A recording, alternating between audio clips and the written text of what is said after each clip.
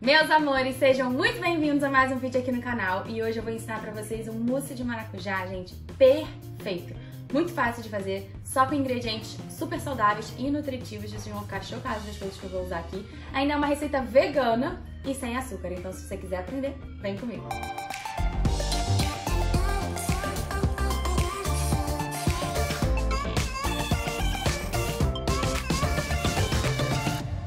Receita, já deixa um like aqui no vídeo, se inscreve no canal, mas não esquece de ativar as notificações para você ser avisado sempre quando eu colocar um vídeo, tá? Então, ativa o sininho para você ser avisado, beleza? Vamos lá, receita super simples. Nós vamos usar meia xícara de castanha de caju que eu deixei aqui de molho em água, tá vendo? Só deixa por pelo menos duas horas ou de uma noite para outra. Eu usei crua, mas você pode usar também torrada, por exemplo. Aqui eu só tinha torrada salgada. Não tem problema que a receita não vai ficar salgada, solta tudo na água. E é claro que você pode dobrar, triplicar a receita se você quiser fazer para mais dias, mais pessoas. Vamos usar também meia xícara de biomassa de banana verde. Não sei se vocês já ouviram falar o que, que é isso, gente.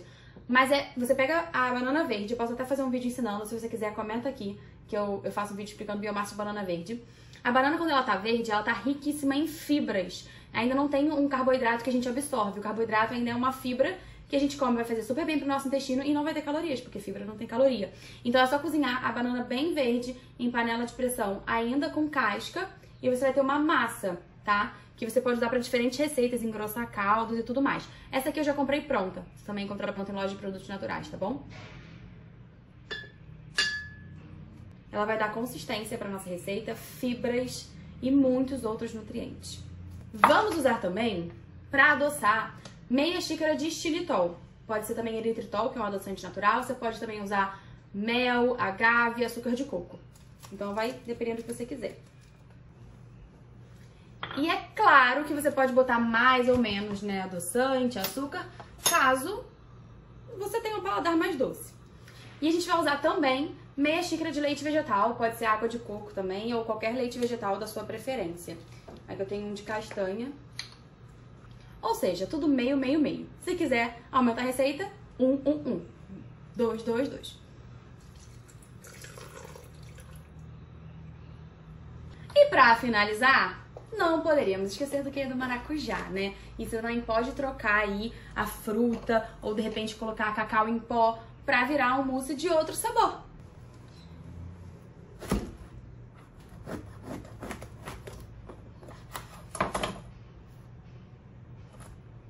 Nós vamos usar um maracujá.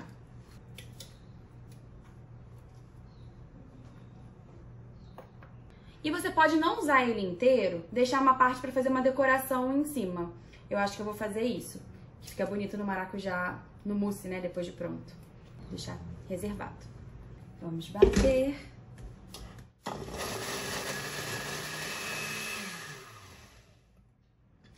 Agora, Último segredinho, gente.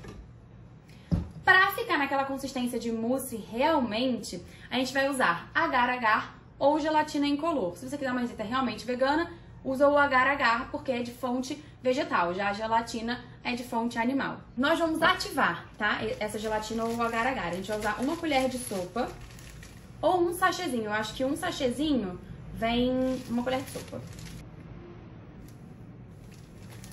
Duas colheres de sopa de água, só pra... Caiu mais fora do que dentro. Duas colheres de sopa, só pra solubilizar.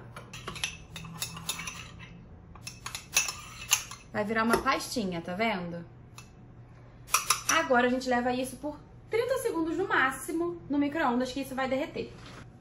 Olha, gente, 15 segundinhos já foi o suficiente pra ficar assim. A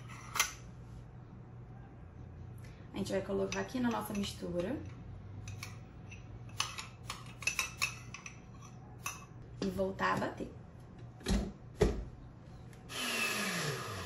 Lelê vai querer comer, porque a Lelê é veg. Com certeza. Quando tem comida vegana, ela vai ficar feliz. Tô na expectativa, já tô preparada. E agora a gente vai distribuir potinhos de sobremesa ou num potão, né? E você coloca no, no seu potinho na hora de comer. Eu acho que quatro vai ser suficiente.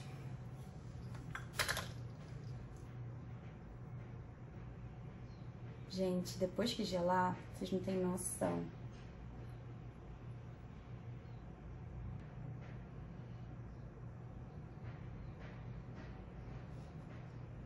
Hum.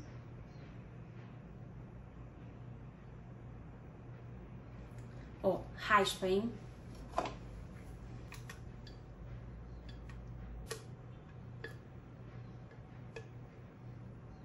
Bom, agora a gente vai levar pra gelar até ficar durinho. Então, daqui a pouquinho eu volto pra mostrar pra vocês e a gente vai finalizar com a decoração. É legal a gente decorar só depois de que estiver durinho, senão vai meio que afundar, sabe? Já volto. Já ficou, sei lá, uma horinha no, na geladeira e eu vou pegar pra gente decorar e comer. Pra gente comer não, né? No caso eu vou comer. É que você já tá aqui pensando em mim. Aham, uhum, eu falei com você que tava por trás da câmera. Óbvio. Sem sombra de dúvidas. Não tá ali. Tchararam. Ó, vamos botar uma decoraçãozinha. Que fica muito bonitinho. Tchararam.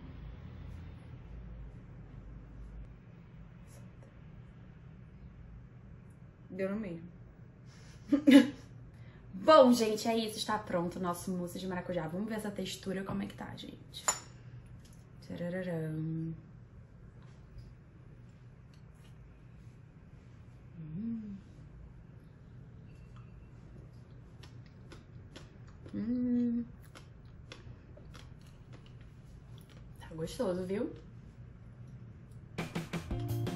E é isso, gente. Eu tenho certeza que vocês vão amar essa receita, que pode ser uma sobremesa, pode ser um lanche da manhã, um lanche da tarde, pode ser um lanche antes de dormir. Então é rico em gordura boa e em fibra, gente. Super low carb, assim, perfeita essa sobremesa. Eu vou acabar de comer. Tchararam. É isso, gente. Um beijo. Fiquem com Deus e até a próxima.